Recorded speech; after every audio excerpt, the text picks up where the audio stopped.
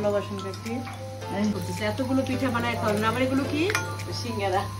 সিঙ্গারা না? সব ভাজবেন না? মানে আমার চাষ্ট ভাইয়ের বউ। দাদির বাড়ির যে আনন্দ সব আমরা কাকের কাকের বাসায় করছি। কিন্তু কাকি কীভাবে এত এনার্জি পেয়ে এত কাজ করে আমি জানি না।